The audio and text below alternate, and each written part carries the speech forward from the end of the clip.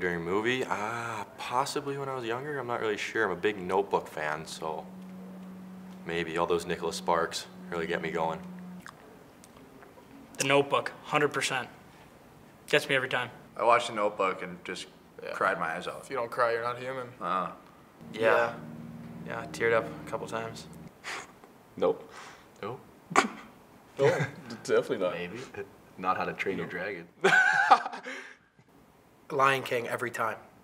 When Mufasa dies, Yeah, Not- guilty. Definitely not. The how second one, that one's sad. The first half of the movie's sad. That's sad. So is Up. Up sad. I was sad too. at the end when Simba retakes over his kingdom and roars and it's raining and then everyone else roars. So soft. Yeah. I'm getting emotional thinking about it right now. I'm gonna have to go with my sister's keeper. That one hit me hard. Honestly, I don't think I have during the movie, no. Uh, yeah, I just watched The Fault in Our Stars, and the end got me a little bit. The end of Pearl Harbor when uh, Ben Affleck brings his buddy out of in a coffin out of the plane. Cried there. It's really sad. I don't know, I'm a softie. I usually tear up at the end of a good movie.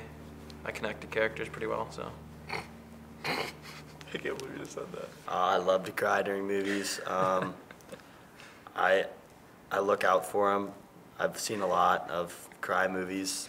I can't believe you said that. I said that with a straight face, too, so. I don't remember. I would have. I don't think so. Yes, I've, All- all yes, the time. I've seen uh, Interstellar I cried. with our team. that wasn't one of our tougher moments as a team. That was a pretty powerful movie, so. That was a good movie. Marley and me. Marley. Oh yeah, Marley and me. I've cried in Marley and Me, My Dog Skip. Anything like with the dog is gets me emotional.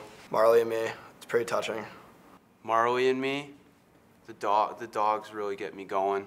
Well, Marley and Me, I don't know. Most people got that one on their list. I think pretty pretty sad movie. Uh, and I'm sure there's a couple other ones, but Any movie where a dog dies, I just Marley and me it. just, lose it. yeah, Can't handle when dogs die. Just so sad. emotional roller coaster. Yeah.